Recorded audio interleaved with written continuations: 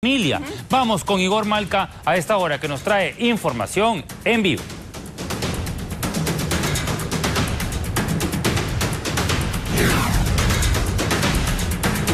Igor, buenos días. Hola Pilar, Fernando nuevamente, muy buenos días. Así es, vamos a, a ver qué pasa. Imaginemos pues que somos de, estos pasajeros que hemos llegado de los países que ustedes han mencionado, de, eh, que están inmersos en toda esta declaratoria de emergencia, Italia, España, Francia, China, y que llegamos a, nuestra, a, nuestras viviendas. Bueno, más allá de la declaratoria de emergencia vía decreto, lo que debemos apelar, y algunos pacientes lo han hecho, eh, es el, la conciencia propia, como con cualquier otra enfermedad. ¿Qué debemos hacer? Pues resguardarnos en, nuestros hogares. Eh, por ejemplo, eh, apelar al aislamiento domiciliario voluntario y tener los cuidados que debemos tener siempre en casa. Alcohol, lejía, detergentes, jabón, agua, por supuesto, pero vamos a imaginar pues que eh, eh, eh, de verdad estamos con algunos síntomas, con algunos malestares y que debemos tener más cuidado aún. Bueno, pues estamos con el doctor Fernando Zarzosa, que nos va a explicar cómo debemos vivir en esta especie de eh, aislamiento domiciliario. Doctor, bienvenido. Sí, eh, estamos en el escenario 1 y ahorita la cuarentena domiciliaria eh, del, a propia voluntad del, del paciente, sospechoso de contagio que viene de zona de peligro, es el eje de la, de la lucha contra este problema. Si todos los pasajeros, porque es difícil que nuestro sistema sanitario en los aeropuertos, en, en los... Sí, no se va a poder. Entonces, si todos hacen esto, llegan y se guardan dos semanas en su domicilio, no va a avanzar. Después va ¿Y a en qué condiciones tarde. debemos estar? Por ejemplo, en esta habitación tenemos una paciente que se siente mal, ventilación, primordial ventilación externa. Interna, cerra, se tiene que tener su puerta cerrada para no contagiar a los demás familiares y los que quieran atenderlo se protegen nada más, ¿no? tiene acá ventilación, tiene su material de desinfección, de, de preferencia una vajilla propia, descartable en lo posible y lo que se tiene solo es de ella. Se desinfecta permanentemente, su alcohol, su alcohol gel, la, si tiene tos, las secreciones las tiene que este, hacer en el papel y las embolsa y periódicamente se van botando amarrado, sujeto. Amarrado y luego a la basura. Y a la basura y se va descartando eso permanentemente. Ahora, ventilación natural, ¿no? Porque la gente que apela al, con el calor al, no, a, lo, a, los artefactos. Se dice que el calor no está defendiendo este virus, así que no, se, no, no apelen al aire acondicionado, más bien sería deleterio. Imaginemos que la persona se tiene que trasladar, por sí. ejemplo, a los servicios. Claro, ya cuando quiere ir al servicio higiénico lo puede usar y luego se desinfecta con lejía, que es el, el, el más económico y eficiente desinfectante. ¿no? Tenemos acá lejía, se diluye más o menos al 2%, más o menos esta lejía clásica le puede poner este, 20 centímetros o 5 cucharitas de jarabe de niño aproximadamente con un litro de agua. Y eso para pa, con, con, una tela desinfecta todo lo dejo un rato aquí y eso ya puede quedar para, para la familia, ¿no? Si ah. tiene un baño propio sería ideal. Ahora, por supuesto se tiene que alimentar. Hemos hablado de los pacientes, pero la familia, ¿cómo debe actuar? Claro, el que va a acercarse a la, a la estadística que decimos, dos metros o menos, tiene que estar, tiene que estar con una protección si es ideal un kit. Si Esto no... es lo ideal, ¿no? Pero no tamp sí. tampoco, eh, o sea, si alguien no tiene este, este ah, mandil... Por lo menos unos guantes y una, guantes. una buena mascarilla, la, las especiales que, que se, están un poco escasas, pero es la ideal, ¿no? Uh -huh. Si no, lo que se tiene, por lo menos, rápidamente, si, si, si el paciente es, es autovalente, le deja su desayuno y se retira simplemente. ¿ya? Hacerle entender eso que es... ¿Contacto directo o se lo debe dejar en la entrada? No, no, sí lo puede dejar adentro, pero está protegida con máscara, mascarillas y, y la deja, ¿no? Si es una persona mayor, pues tiene que cuidarla un poco más, ¿no? Es importante eso.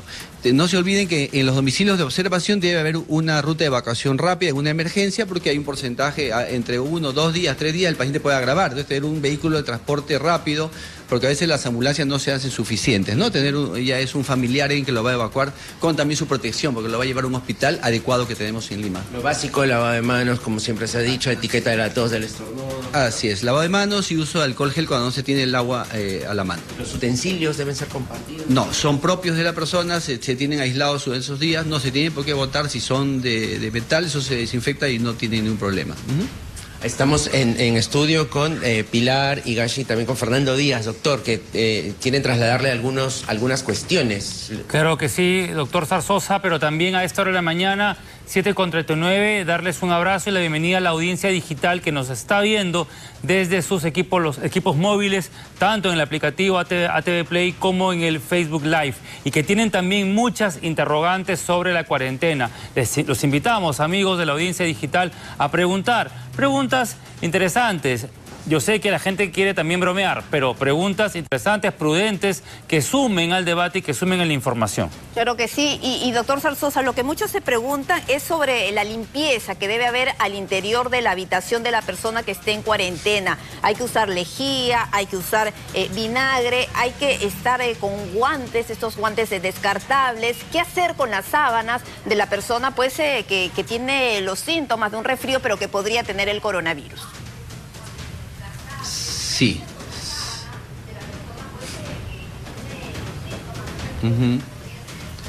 Sí, definitivamente el virus tiene supervivencia en las prendas, esas se debe lavar permanentemente, continuamente, ¿no? Se debe lavar las sábanas, se debe eh, lavar la ropa diariamente de preferencia y lo que, es, lo que espectora se, se, aísla en una bolsa, ¿no? En, eh, sobre un papel, papel toalla, papel higiénico y eso se, amarra, se sujeta para que no, no se disemine, no se esparza y no contagie, ¿no? Básicamente eso, el uso de alcohol gel permanente y si se tiene lavado de manos también es la otra forma, ¿no?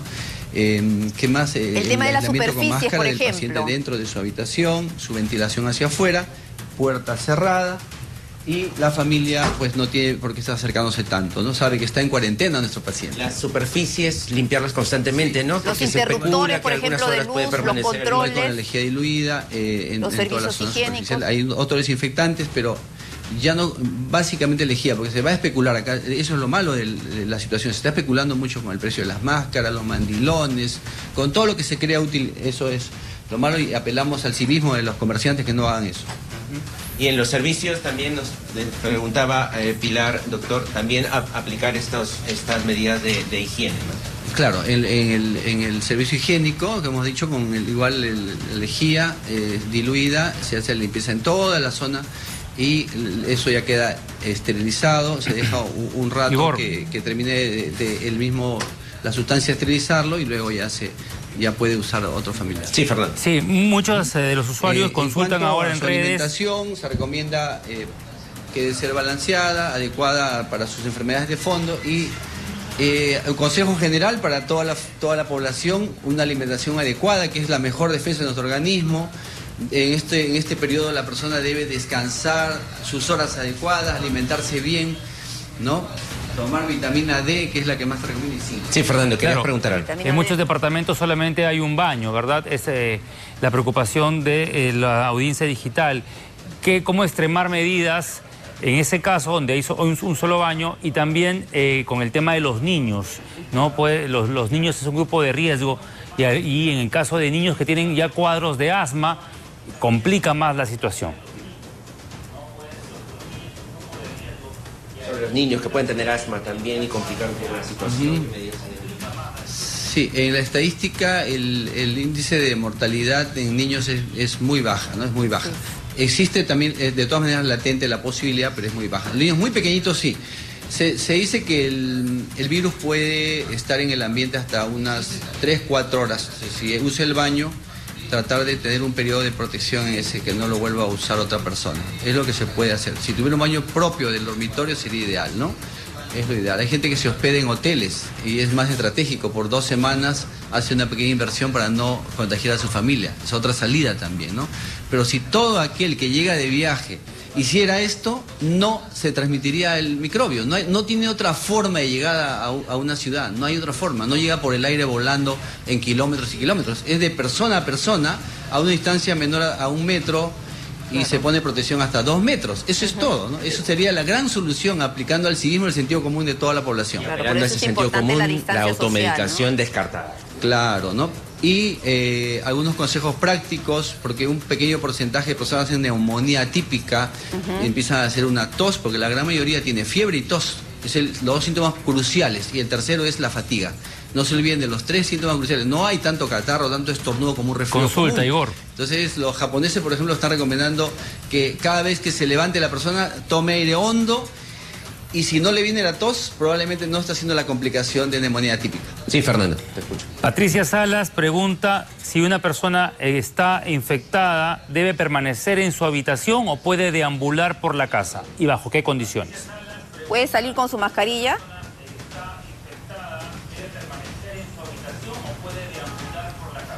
No, de preferencia en su habitación, salvo que sea indispensable. Ah, bueno, si tiene una gran mascarilla podría ser, pero no es mucho pedirle dos semanas de aislamiento porque es porque la, la técnica de colocación de la mascarilla podría fallar.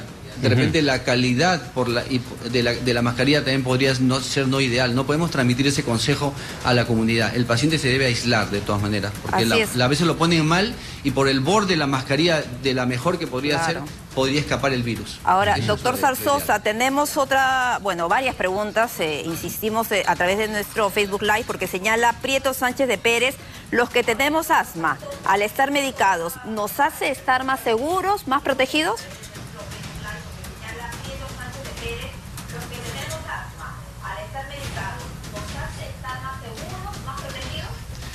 Sí, definitivamente. Se recomienda que los pacientes con asma usen su terapia protectora. Hay inhaladores que son protectores preventivos. Y si están eh, cubiertos, no va a haber la necesidad de inyectarlos o, administrarle corticosteroides, que son cuando el paciente se pone mal. Y es, esos corticoides en ese periodo lo predisponen al contagio, ¿no? O sea, por ahora todos a usar sus preventivos. Bien. Bueno, entonces, ¿hay alguna última recomendación, Igor, sobre todo para la- las personas que eh, eh, quieren información, pero no quieren tampoco alarma, ¿no? Entonces hay que manejarlo con prudencia, con mucha responsabilidad, como dice el doctor. Si estás aislado, estás aislado y salir de la habitación, eh, pues solo en ocasiones imperiosas. Eh, una persona que se dedique a llevar los alimentos, ¿no? La colocación de la mascarilla En es fundamental, casos, ¿no? la buena colocación. Y, y el familiar que ingresa pues eh, permanentemente a la habitación para, para darle los alimentos. ¿Y, y qué tipo de, de- de medicación es lo que nos están eh, preguntando? Bueno, la, la alimentación ya ha señalado que tiene que ser variada, nutritiva, pero en cuanto a suplementos, ha mencionado la vitamina D. ¿Eso es para personas mayores, para, person- para los eh, niñitos menores de 5 años o en general? Mm, No, no, no. La persona que la persona que no esté enferma eh, es un consejo general que es- se sabe que esa vitamina es protectora, ¿no? Con el zinc, etcétera, hay varios elementos. Pero el que está enfermo tiene que tener terapia sintomática. No existe una tera- terapia demostrada ahorita eh, para este, este coronavirus nuevo, el COVID-19. No existe una terapia específica. Se está probando varios, pero en los pacientes graves. Pero no hay forma, lo único son calmantes, sintomáticos, analgésicos, paracetamol, bastante líquido, hidratarse, porque es, la, es una forma de complicación, ya si el paciente se pone mal, eh, y como dije yo, tener una ruta de evacuación rápida para llevarlo rápidamente hacia un hospital designado, adecuado que tenemos, ¿no? Porque ahí se le brindará oxígeno y en el caso extremo ventilación mecánica, etcétera. Ahí sería la terapia complicada. No hay una terapia este, exclusiva para este mal. Doctor, una consulta. Ante la ausencia y carencia de productos de limpieza, consultan si un eh, remedio casero puede ser el uso del vinagre o del bicarbonato de sodio para desinfectar algunas superficies.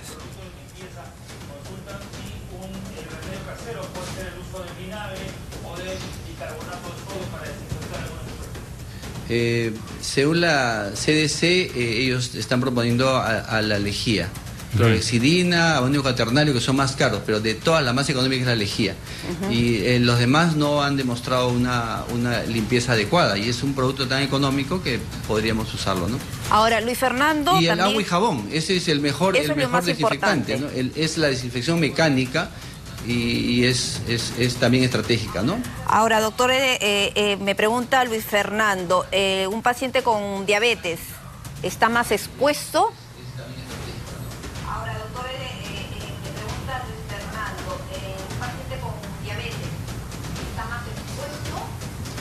Sí, efectivamente, el- la estadística que tenemos eh, en mortalidad es en esos grupos, con diabetes, presión alta, enfermedades cardiovasculares, enfermedades bronquiales crónicas, eh, neoplasias.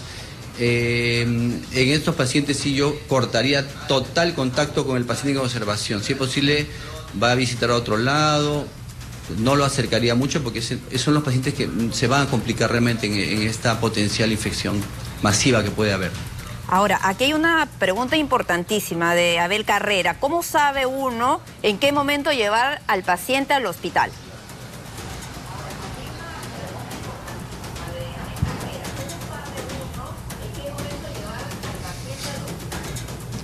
Ya, efectivamente. Mm, pautas, ¿no? Eh, la gran mayoría de los pacientes tienen eh, como en la estadística se dice que el primer síntoma que tiene es fiebre. La gran mayoría en, lo que han brindado los, casos, la, casuística grande que hay en China, en los otros países, fiebre. La mayoría tiene 38 grados, o sea, pero eso también es una alarma. La segunda manifestación es la tos seca, porque es una neumonía típica de grado leve, moderado o severo. Hasta ahí tampoco es muy, grave, pero si el paciente empieza a fatigarse, empieza a quedarse sin aire, ya no puede respirar, y si tenemos para medir el, oxígeno en el dedo, los oxímetros, y el valor está abajo del promedio que le conocemos a nuestro familiar, a nuestro paciente, ya debemos evacuar. ¿no? Si el paciente se viene a menos, ahí comienza ya a tener baja de presión, es algo de sentido común también, pero es la agitación básicamente la que marca la pauta para evacuar. Perfecto. Si una, una persona va al hospital, debe, si sale de casa y va a un hospital y no está infectado, ¿debe llevar mascarilla? Y es una pregunta suelta en medio de la, de la audiencia.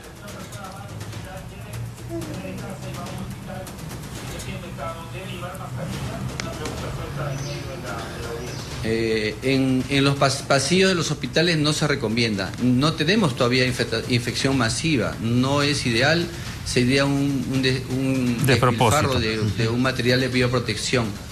Si tuviéramos en, el, en, el, en otro nivel de infección podría ser necesario, pero por ahora básicamente el personal de salud y el paciente que esté enfermo o sospechoso.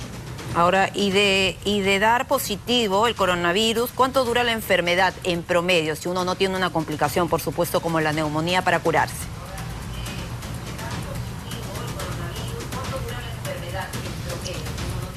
Ya. Sí, eh, como dijimos, en, estos casos eh, puede durar semanas, ¿no? Tratar de manejar al paciente. Eh, puede puede que, por ejemplo, el, niño de 7 años contacto del caso cero no hizo síntomas. lo, lo, han manifestado los familiares, el niño no hizo síntomas. O sea, imagínense, está, está dando con la enfermedad. Los niños casi no van a hacer síntomas, pero eh, hay un porcentaje, sobre todo adultos mayores, que son el blanco y el grupo de alto riesgo que pueden ir hacia la neumonía y puede durar semanas. De repente ya el virus pasa y hay una complicación bacteriana, una neumonía que hay que requerir ventilación e intervención muy sofisticada por, por parte del equipo de salud. ¿El alcohol yodado puede también servir para desinfección?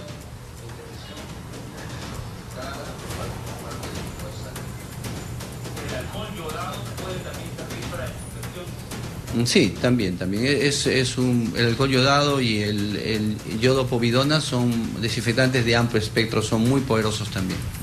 ¿Cómo sabemos, doctor, si es que la cuarentena está funcionando o en todo caso, cómo darnos cuenta que no, que no hay una recuperación? algo estamos haciendo mal. ¿Qué, a qué señales de alerta debemos estar pendientes?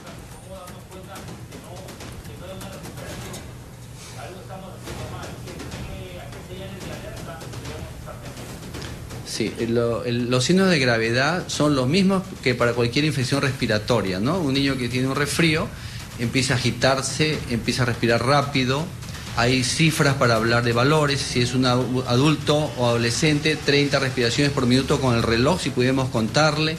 Si, es un, si son niños menores, tienen cifras de, 40, 50, 60, hasta de dos meses, ¿no? Son valores, pero en realidad el sentido común de uno ver a su familiar que está respirando más veloz de lo normal significa que se está agitando, está haciendo una complicación ya mucho más seria que, el simple, la, que la simple tos o la fiebre, ¿no? Que se puede calmar con un sintomático cualquiera y ahí no hay tanto peligro. Ahora, Guadalupe Herrera también nos está preguntando, ¿puede contagiarse a las mascotas? No creo.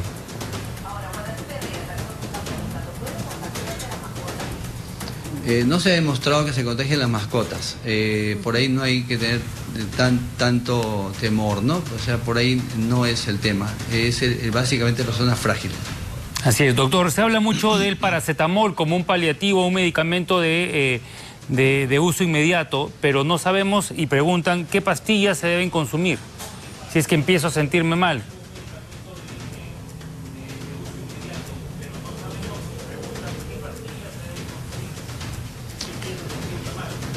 El, paracetamol es el, ideal, ¿no? Porque hay personas que son alérgicas a los antiinflamatorios, pero cuando no resulta el paracetamol, a veces echamos mano a antiinflamatorios, al metamisol, etcétera, ¿no? Pero es un tema más médico. En lo que es popular y fácil de, adquirir, si la persona no tiene fiebre, eh, perdón, no tiene alergias, es paracetamol. Ahora, doctor, insisten con el tema de las sábanas. Ya se lo había preguntado, pero Susan Villar lo que dice es, hay que lavar la, la sábana. Bueno, usted ha dicho todos los días de preferencia con agua caliente o, es indistinto si lo hace con agua fría?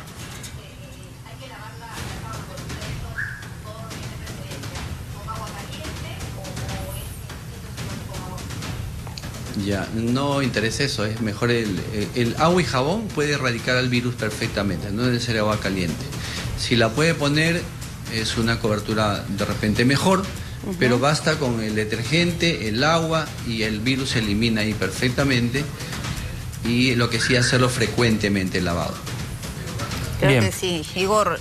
Igor importantísimas las recomendaciones muy claras, bueno, y nuestros eh, seguidores en las redes dicen que ha sido muy clara la, explicación, muy didáctica, sobre todo pues, porque hay muchas personas que están regresando de países de riesgo y tienen que permanecer esas dos semanas en cuarentena. No sé si tienes algo adicional para ya ir cerrando el enlace en vivo, Igor.